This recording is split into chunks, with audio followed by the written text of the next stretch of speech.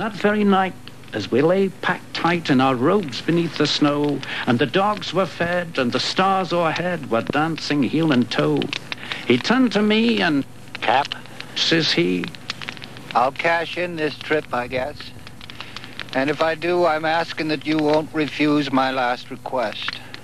well, he seemed so low that I couldn't say no. Then he says with a sort of moan, It's the cursed cold, and it's got right hold till I'm chilled clean through to the bone. Yet tain't being dead.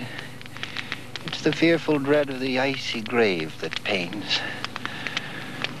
So I want you to swear that, foul or fair, you'll cremate my last remains. Mush! Mush! Pal's last need is a thing to heed, so I swore I would not fail.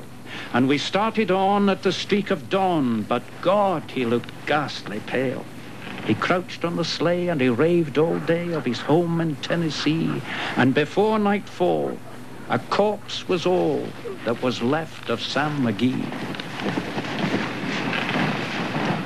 There wasn't a breath in that land of death, and I hurried horror driven, with a corpse half hid that I couldn't get rid because of a promise given.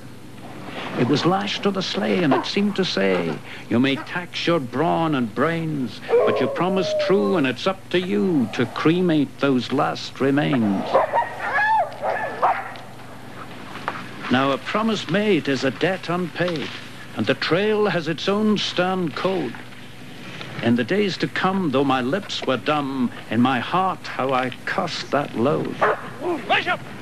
Mush up there! Till I came to the marge of Lake Labarge, and a derelict there lay. It was jammed in the ice, but I saw in a trice it was called the Alice May. Oh! And I looked at it, and I thought a bit, and I looked at my frozen chum. Then here, said I, with a sudden cry, is my crematorium. Some planks I tore from the cabin floor, and I lit the boiler fire. Some coal I found that was lying around, and I heaped the fuel higher. The flames just soared, and the furnace roared, such a blaze you seldom see. And I burrowed a hole in the glowing coal, and I stuffed in Sam McGee. I do not know how long in the snow I wrestled with grisly fear, but the stars came out and they danced about ere again I ventured near. I was sick with dread, but I bravely said, I'll just take a peep inside. I guess he's cooked and it's time I looked. Then the door I opened wide. And there sat Sam, looking cool and calm in the heart of the furnace roar. And he wore a smile you could see a mile, and he said, Please close that door. It's fine in here, but I greatly fear you'll let in the cold and storm. Since I left Plumtree down in Tennessee, it's the first time I've been warm.